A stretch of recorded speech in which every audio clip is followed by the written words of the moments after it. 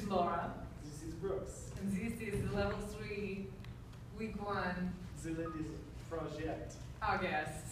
And it is oh. the momentum and flow. flows. Yes, was the love is the love underneath the Texas Silvery Moon. We went over the swivels to allure the Texas Silvery Moon lovers, and they look like this.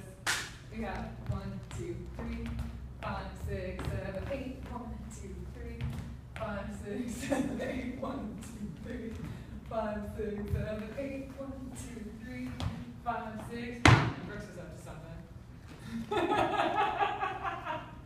We had the leaders in that, in that time was focused on moving through our triple steps. So he's talking about first off just in our basic forward and back, having these triple steps move.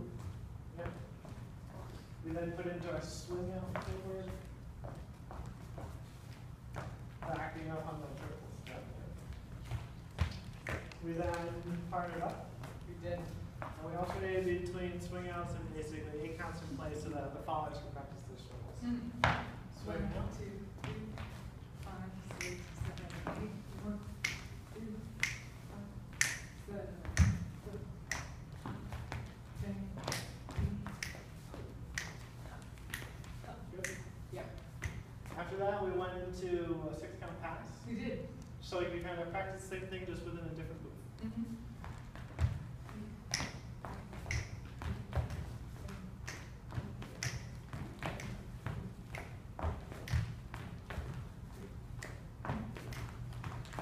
And then we had variations. So the first one had this inside turn. Five. Talking about making that rock step. Leaders follow the follower, do it in his face. Um, followers really following the hand, don't let it move to the side. The other variation. Five, six, seven, eight, outside turn.